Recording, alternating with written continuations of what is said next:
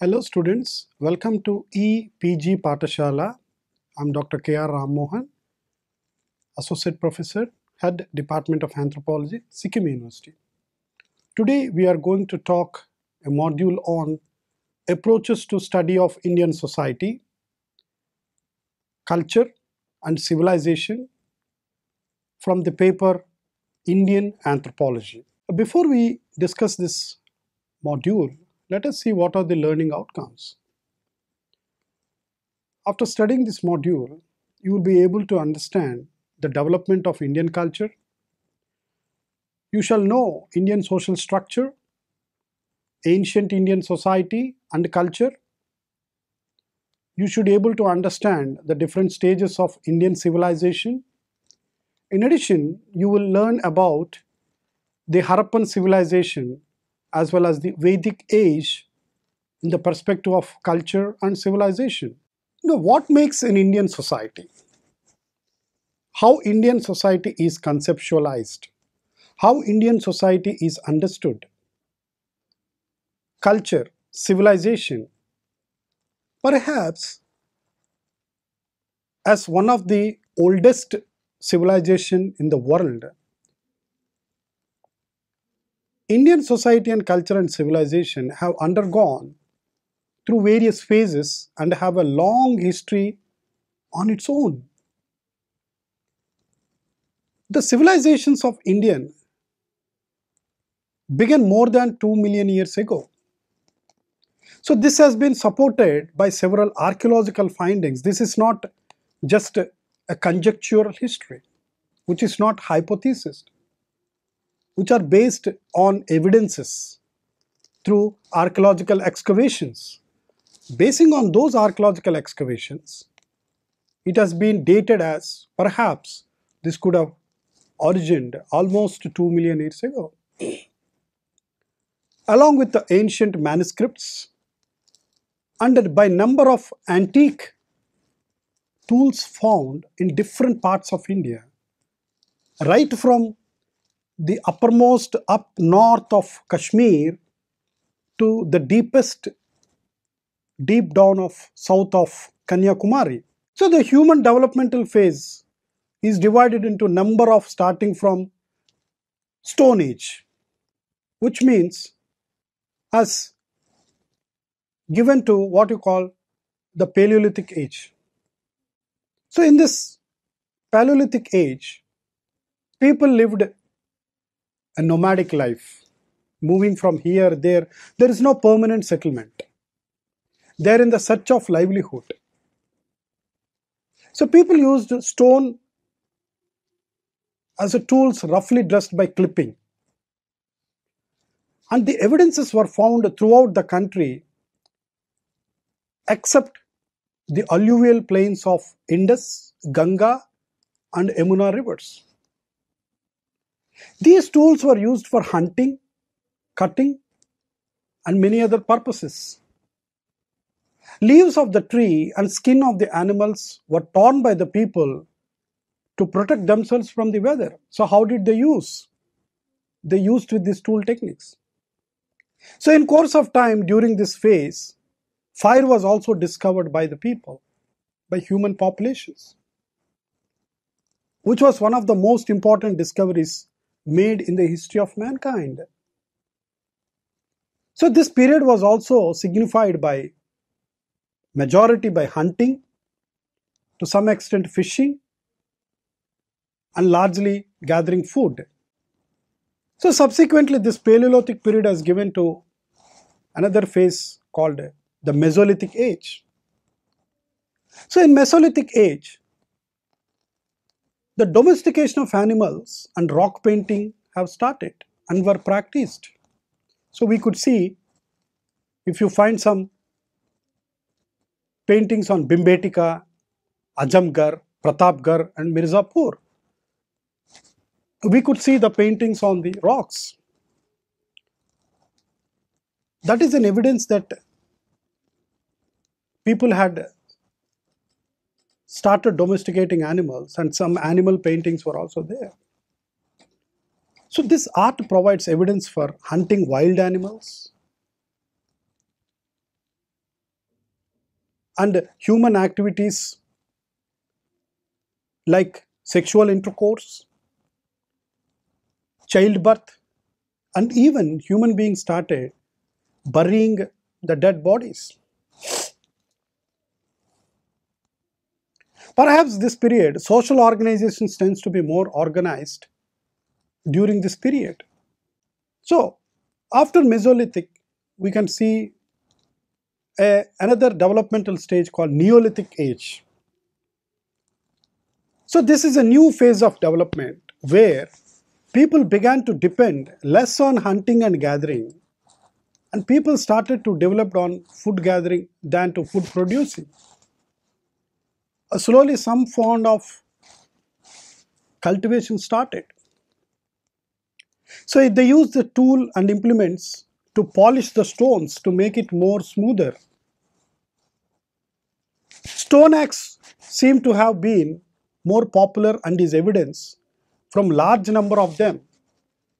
And these things are found in the hill tracts of the country where stone axes were in the crude form they are found.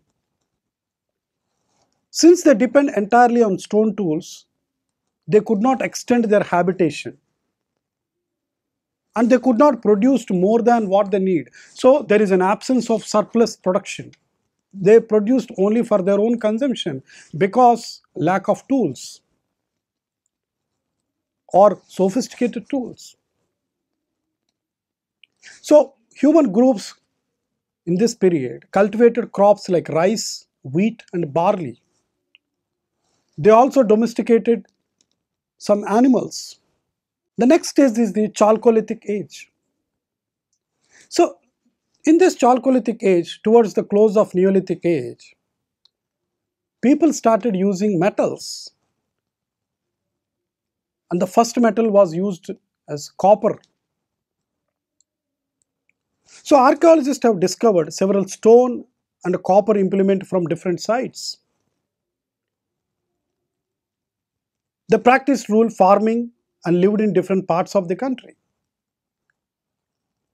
Apart from these copper objects like rings, celts, hatchets, swords, harpoons, spearhead, anthropomorphic have been found in this wide area.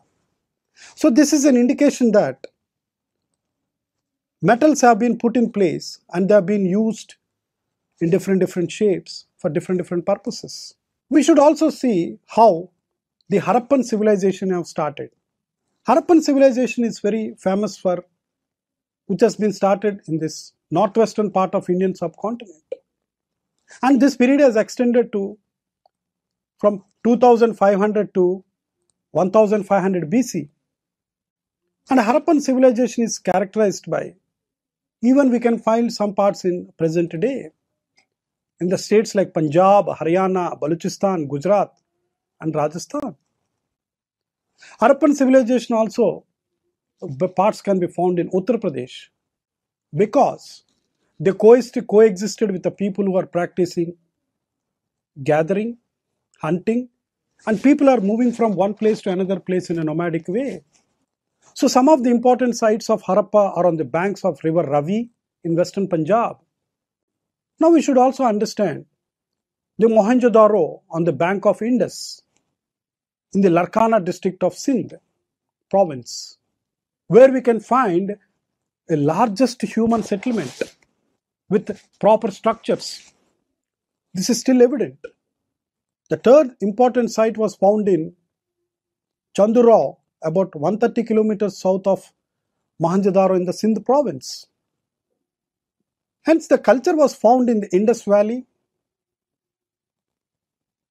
Ghaggar Basin in Gujarat province, and western Uttar Pradesh and northern Maharashtra. So, here one could see the development of little town planning. People started using have the opportunity and privilege and resources to plan for human settlements in a systematic way. So town were plans with great uniformity and show similarity in their layouts. Street and lanes were bifurcated. On the right angle base, there is a grid pattern dividing the city in very rectangular blocks. So the entire city was bifurcated into distinct parts, citadels, fortified areas, with each house a civic were religious places including for worship and there were places to store food materials like granaries, the crops, the surplus crops. And we can also see a separate houses for the ruling class. So this shows there is some kind of expansion of the social organization. So the lower town was rather bigger in the area which hosted the common people. So there is a clear-cut demarcation that these people are common people and little further is the ruling class. So there is a small kind of social stratification. Surkotada and Kalibangan are the example of fortification of this lower town. And Dholavira shows the division of the town into three parts. They use extensive bricks which are burned and stone structures were absent. It was only brick structures. So in this phase, elaborate planned underground drainage system were present. This is a very significant development in this period. So the entire drainage system was found where water resources are channelized. So each house was connected to the main drainage system which is equipped with manholes, mostly made with mud mortars. So they use this mud and mortar to make water tight so that water should not spill out. And there is also interesting feature of founding of the cesspits, the garbage points inside the house for putting all the solid and liquid waste. In that sense, the houses were very plain, but there was no decoration. Again, if you see the Harappan society, how society was in the Harappan, excavations at Mohenjo-daro indicates the existence of four classes of people, namely the learned, the warriors, the traders, and the artisans, and finally the labor class. Perhaps this could be the origin of the Varna system or the Varna class. So the learned class comprises of the priests, the astrologers and the sorcerers. The presence of palace with ancient foundation with a big sword shows that some sections of the people are warriors, classes who guarded the palace the king's palace. A commercial class of warriors, artisan, such as Manson engravers, shell workers, weavers, goldsmiths, are all comes under the middle class group. Following this, we could also see a progress towards the Vedic age, which is an important phase of history in Indian civilization. So in Indian history, the Vedic age was a period from 1750 to 500 BC. During this period, the oldest scripture of Hinduism, the Vedas, were compiled. So during the early part of this people settled in northern part of India and it is considered that these were all pastoral tribal communities. So after 1200 BC, they expanded towards the Gangetic plains because of growing settled agricultural activity. So the proposed period of earlier Vedic page stretched as far as 2nd millennium BC. It has flourished for a long time as the Vedic period ends.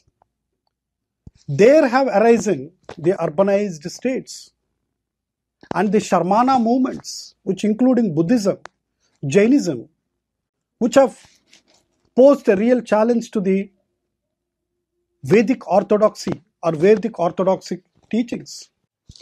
During this Vedic period, Vedic literature has flourished like anything, which has contained all the scriptures. If you understand what is Vedic literature, Veda means a treasury of knowledge. a storehouse for knowledge which encompasses all the things in the world. And Vedic literature includes four Vedas. Of all the Vedas, Rig Veda was the earliest. So, Vedas are the collection of hymns, prayers, charms, and sacrificial formulas. They are also known as Sruti, meaning hearing. So, if you look at the four Vedas, the first one is the Rig Veda, the oldest Veda. It is the collection of the hymns and the divided into four mandalas. And these mandalas are further divided into astakas and suktas, which contain 1028 and 1017 hymns for suktas. The second one is the Yajurveda. It is about the collection of rituals for performing different sacrifices recited by the priest and it contains 40 chapters. Now, this Veda is only in the verse, that is in the prose. And the third one is Samaveda. Is a collection of hymns sung by a particular priest taken from the Rig Veda, where it contains 1810 hymns and it used for the purpose of singing at the Soma sacrifices. The last one is the Atharva Veda. It is a collection of charms, spell, and magic which contain 711 to 760 hymns. So, Atharva Veda preserves many non-Aryan elements, cultural elements of non-Aryan origins can be seen. And these hymns are means for warding off the evils and demons which confront human beings, which gives protection. So what happened after this late Vedic period or later Vedic age? How what was the social life? Society was egalitarian in nature. Political hierarchy was organized with the king or the Raja at the top in the pyramid. He was on the top in the social order. The word Brahmins and the Kshatriya were found at the family books in the Rig Veda. But at this point of time, the Varna system was not explicitly seen. So the family pattern of the Vedic was very narrow. Institute of family was important, but there were different types of marriages might have performed, like polygyny, monogamy, polyandry, are all seen in this period. Religion became an important place in post Vedic period. So the modern form of Hinduism evolves from Vedic religious forms and beliefs. Performances and sacrifices symbolize the forms of worship chanting of Rigvedic verses, singing, mumbling sacrifices, the mantras were involved in sacrifice, accompanied by chanting of the Vedic mantras. So, in the ancient Vedic religion, has slowly progressed into Hindu paths of Vedanta and yoga. Both are spiritual pathways which might have the essence of the four Vedas. So these are the offshoots of the four Vedas. The post Vedic period believes that the traditions as well as the text which has been coming in the form of Upanishads and the epics were coded in the form of Ramayana, Mahabharata have been entirely conserved within the main fold of Hinduism. To summarize, Indian society, Indian civilization has a complex historical process. Millions of years ago, the society was started here. To understand this civilization process, what we have today, one should look into the origins of this civilizational process. Starting from Stone Age,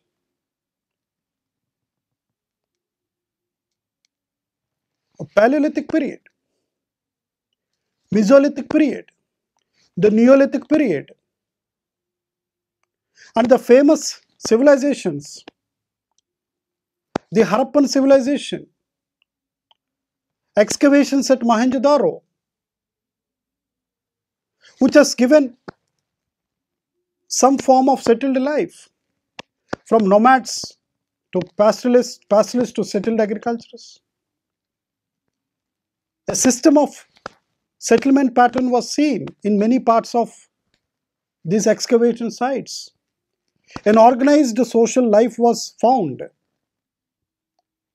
in many northern parts of India. We could see a small stratification between the ruling class and the working class,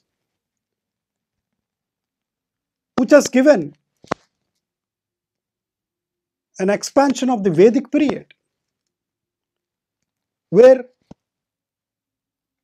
the Vedas have been the predominant guidance for religious, social, and moral life, which are the guiding principles of human conduct, which has given more importance to religious life. So, in this way, Indian society has taken a long route in this civilizational process to come to stage that what we have now.